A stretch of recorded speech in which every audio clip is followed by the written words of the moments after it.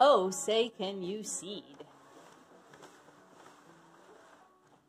A book by Bonnie Worth, illustrated by Katie Dement, Cranky Style. I'm the cat in the hat, and I think you need to come take a look at this thing called a seed.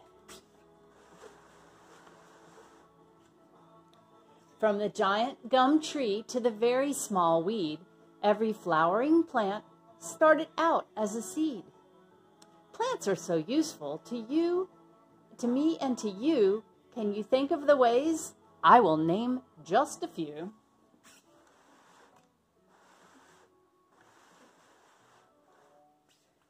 The paper from books and the cloth for your pants come from trees and from cotton. That's two kinds of plants.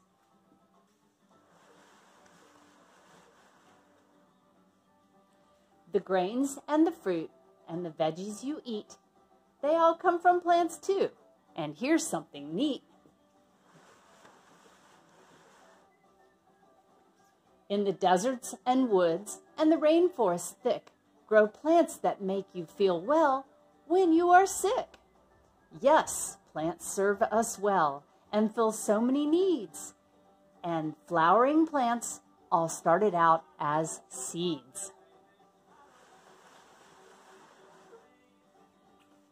Just what is a seed, are you wondering? Maybe?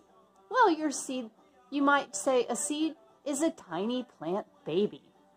Like all seeds, a bean comes in three basic parts.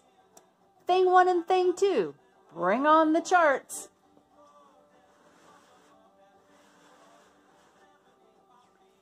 Part one is the first that I think you should know. It's the part that's the baby. It's called embryo. To sprout, it needs food, like you and I do, which brings us to seed part numero two, cotyledon. It's called cotyledon. Say, isn't this fun? The bead seed has two, but some seeds have one.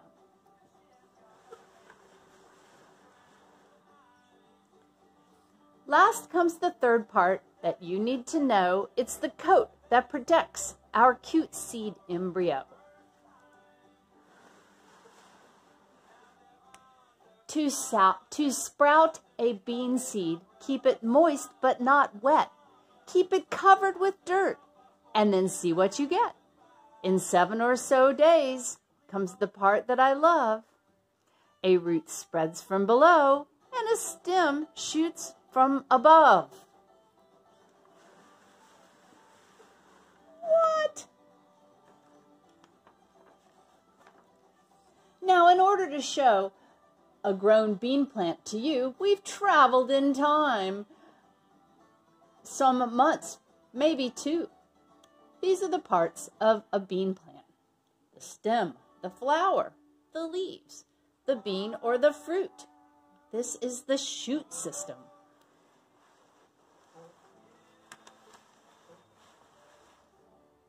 To get a good look at roots underground, it is better to make like a mole, I have found.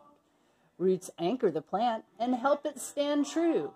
Roots suck up the water and minerals too. And roots keep the soil just from just washing away. That's pretty important now, wouldn't you say? So we've talked about roots and we've learned about them. Now it's time that you moved on up to the stem. The stem is a pipe through which water shoots. Um, it's absorbed from the soil and passed up through the roots.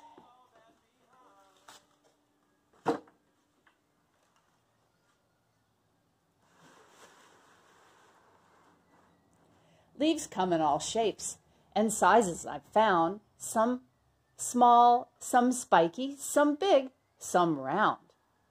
I'll say this quite loudly. I don't mean to be rude. Plants are the only living thing on earth that make their own food. What is it called? Photosynthesis.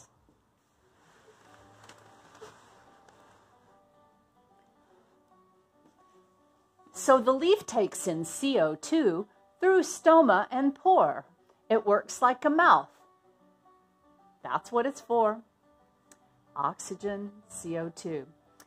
When air gets mixed in with the water and sun, that's how the food making factory is begun, is run. So as here is a chart, I will share it with you. It shows the parts of a flower and all that they do. Pollen, petals, stamen, filaments, pollen tubes, ovule, stigma, style, pistil. We'll look at flowers more later. In the pistil are ovules. They're unfertilized seeds. The stamen holds pollen, which ovule needs. An unfertilized ovule will not ever grow, but pollen will fix that, and beads play a role. Bees make honey. To make honey, bees need to get the nectar from flowers. They fly and they gather this, that sweet stuff for hours.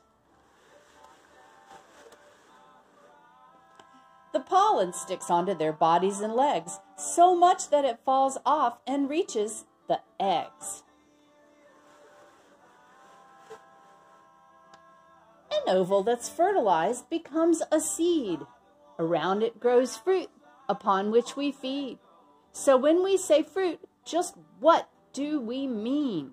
We mean olives and nuts and grains and plantains and tangerines and apples and oranges, pineapples too.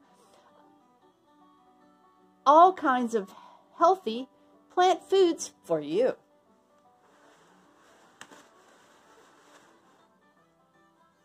Not all plants, plants give us seeds. All, not all plants with seeds give us edible fruit. Some plants have seeds that look weird or look cute. Burr seeds are hitchhikers that ride on your clothes. And dandelion seeds sometimes fly up your nose.